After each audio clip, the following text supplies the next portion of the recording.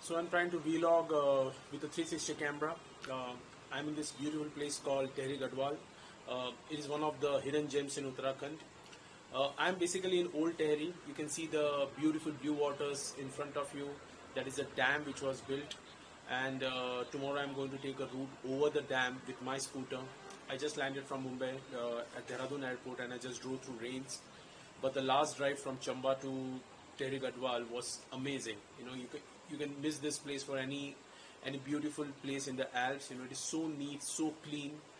And uh, if, if you come across uh, across this this part of the world, I would suggest that you please come and visit this place.